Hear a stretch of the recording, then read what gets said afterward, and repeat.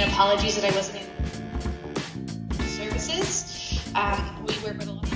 We can then work to connect you potentially with you